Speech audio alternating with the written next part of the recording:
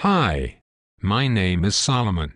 I lived several thousand years ago and have traveled forward in time to talk to you today. I hope I look okay. My clothes looked kind of strange for here so I borrowed some of Pastor David's clothes. Do I look okay?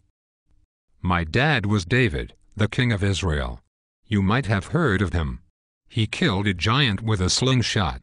Well, when my dad died, I became the king. I was still pretty young and worried about being a good king.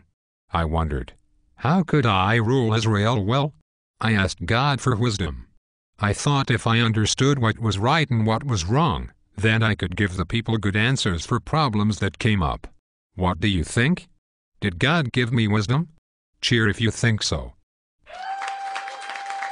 Yes, he did. Here is what God did for me. In 1 Kings chapter 4, verses 29 and 30, the Bible says, God gave Solomon wisdom and very great insight, and understanding as measureless as sand on the seashore. Solomon's wisdom was greater than the wisdom of all the people of the East, and greater than all the wisdom of Egypt. Use your hands to show how much wisdom God gave me. A little or a lot. Yes, He gave me great wisdom. God was happy that I asked for wisdom. He helped me think clearly, understand, and solve problems. If you read what the Bible says about me, you will learn that I wrote down 3,000 wise sayings called Proverbs to help people know how to live. I wrote more than 1,000 songs.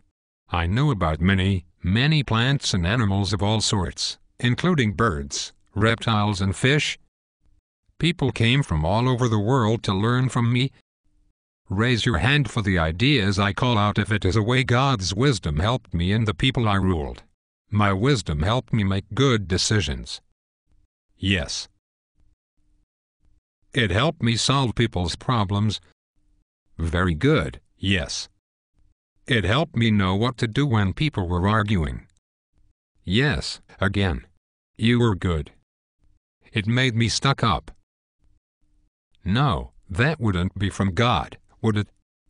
It helped me relax and let other people take care of all the problems. No, that wouldn't be from God, either.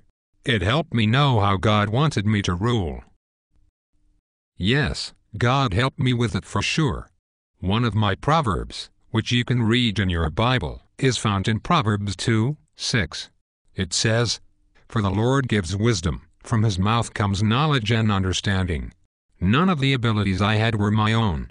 They all came from God.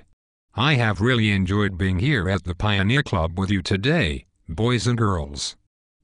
Hamburg United Methodist Church is a really nice place to come and spend time with God. I wish I could have been there in person today, but working for God keeps me really busy. Shalom.